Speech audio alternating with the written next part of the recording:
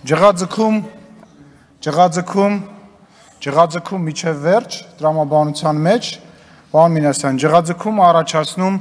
մարդկանց մոտ, երբ որ պայմանականորեն 120 միլիոն դոլար գողացած մարդիկ պետությունից խոսում են 120 հազար դրամ ապարքեվավճարի մասին եւ անվանում են դա կոռուպցիա։ Ջղաձգումը առաջացնում, երբ որ շենքեր, ասաբնյակներ, սարկած մարդիկ հերոստանգերություններ են գնում եւ ամեն օր խոսում են 90000 դրամ վարորդին կամ պահակին պետական շենքում տրված ապարքեվավճարի մասին։ Ջղաձգումը առաջացնում, երբ որ դուք ասում եք, որ պաշտոնաթող նախագահները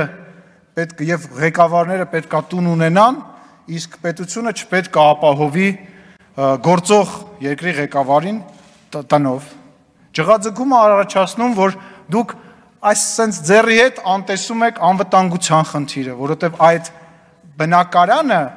իրենից նաև անվտանգության խնդիր է առաջացնում, որ ենթադրենք ինչ որ բաշի բոզուկներ, որոնք պահը օգտագործելով որոշում են սպանեն ազգային ժողովի նախագահին, վարչապետին, ազգային ժողովի փոխնախագահին եւ փուճուր խմբակներով սահման շարժվելու փոխարեն շարժվում են օրինակ իմ տանուղությամբ, պարոն Միրզոյանի տանուղությամբ, իրենք հնարավորություն ունենան եւ գնան այդ մարդկանց սպանեն եւ ասեն դե ամբողը բան արեց, սպանեց։ Այդ ես անկեղծ զարմանում եմ, որ Դուք եկել եք ստեղ արդարացնում եք Սերժ Սարգսյանի ինքը իրան տուն նվիրելը եւ հետո զգալով որ դա լավ միգուցե միգուցե մենք այդտեղ կապ չունեինք թերևս ակնհայտ էր որ դա վերջին ամենա չգիտեմ չեմ ուզում բառ օգտագործեմ կարծում հասկանալի է ինչ բառի մասին է խոսքը վերջին ամենա սխալ հատուկ ձեր համար վերջին ամենասխալ քայլն էր որ կառավարական առանձնատան իդեպ ես ձեզ ասեմ այդ կառավարական առանձնատունը ով որ գիտի կարող է փաստի ով որ եղել է կարող է փաստի ինքը այն տունը որը որ պարոն Սարգսյանը իդեպ ասեմ դուք գցեցիք օրակարգի մեջ այս թեման ես կշարժ ես ուղակի շարունակում եմ դուք այն կառավարական տունը իր հարակից հարակից տարածքով որը իր մեջ պարունակում է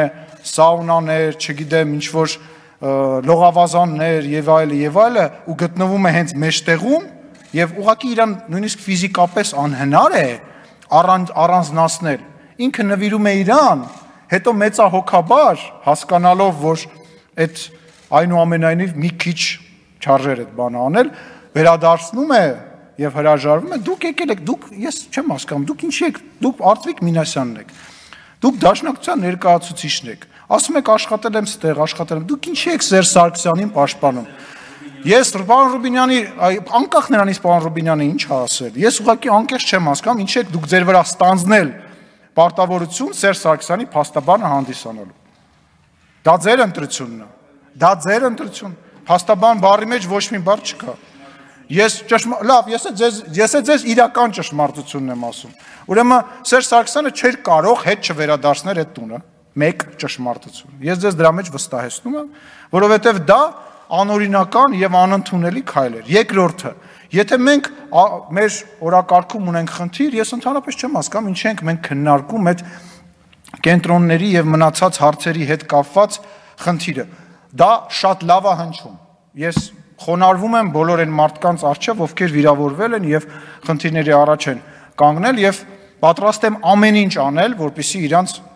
ամեն ինչով ապահովենք։ Բայց մենք այսօր ինչ որ խնդիր ունենք, որը որ չենք կարողանում լուծենք եւ վերականգնողական կենտրոնների հետ կապված լուրջ խնդիրներ ունենք, ես ձեզ վստահեցնում եմ, որ ձեր ներկայացրած խնդիրը այդպիսի լրջություն չունի Հայաստանի Հանրապետություն։ Եվ եւս մի բան,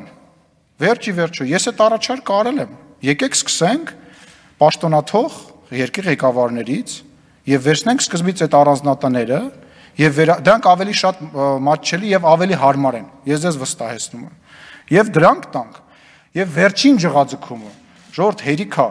դուք այս շենքում աշխատելու եք բոլորդ։ Այս մեր շենքում աշխատում են մարդիկ, վարորդները,